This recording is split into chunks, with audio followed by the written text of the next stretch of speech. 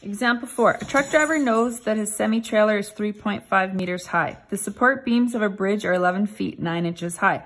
Will the vehicle fit under the bridge?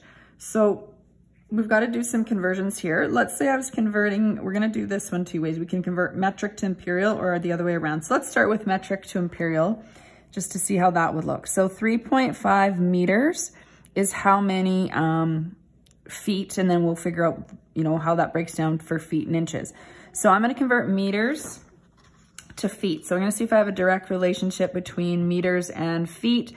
And I do, if I look, I have one foot is 0.3048 meters. So I want feet to remain over 0.3048 meters. So meters is going to cancel out. So my calculator, I go 3.5 divided by 0.3048 and I get 11.4829, etc. feet.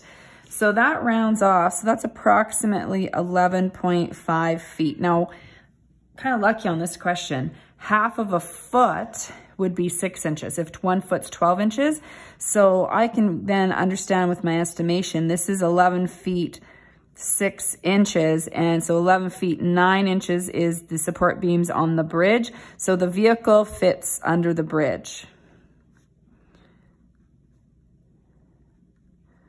With about three inches to spare. So I'm not sure I would try, try that if there's a bump in the road.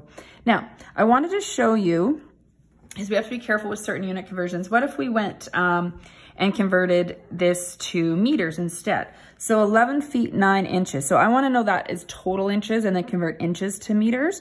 So 11 feet, if we take that 12 inches, times one foot. So 11 times 12 inches is 132 inches. And you're probably used to converting feet to, to inches by now. So this is 11 feet, 132 inches, plus we have our nine inches. So 132 inches plus nine inches means that that bridge is 141 inches tall. So I'm gonna take 141 inches and I wanna convert that to meters now.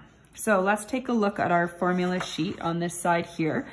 So I have inches to centimeters. If you take a look, I have centimeters to inches here, but I don't have centimeters, uh, or sorry, inches directly to meters. But I know the relationship between centimeters and meters. One centimeter, sorry, 100 centimeters is one meter. So I'm going to convert, um, I can convert to centimeters first and then inches.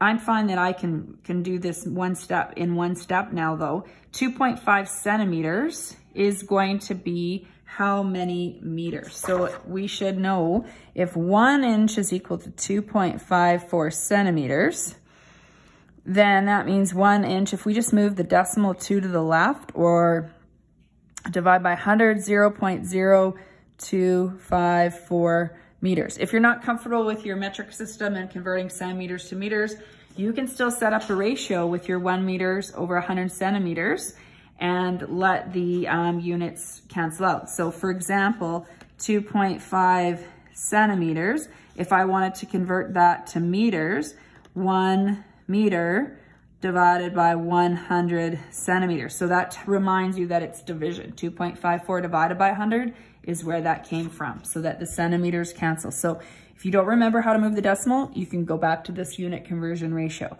So one inch is equal to 0.0254 meters. So I want my answer in meters. So 0.0254 meters divided by one inch, cancel. So again, Unit conversion ratio is always going to help me out. New units over old.